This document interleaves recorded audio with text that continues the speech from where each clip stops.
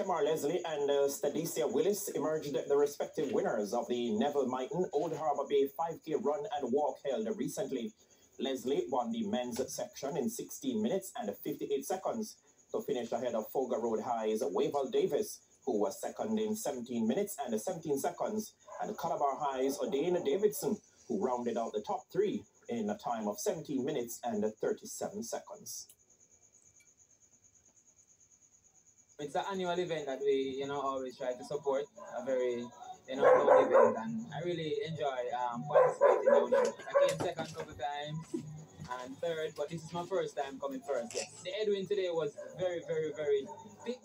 I didn't get the time that I wanted, but I, I got the place that I wanted.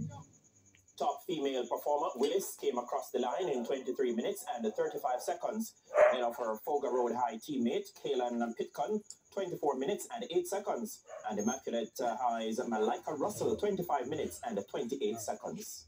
Well, I just we didn't know something about. Because I am that confident in myself. Meanwhile, Duel Allen, the lone male competitor in the 5K walk, prevailed in 26 minutes and 44 seconds ahead of uh, the female pair of Michelle Slack, 47 minutes and 44 seconds, and Michelle Scott, 53 minutes and 59 seconds. To be honest with you, the, the, the race was, was fun. I didn't have I didn't have any problem. The only problem I have with myself was that I didn't do as much mileage this week, so I didn't get to do the time that I really wanted to.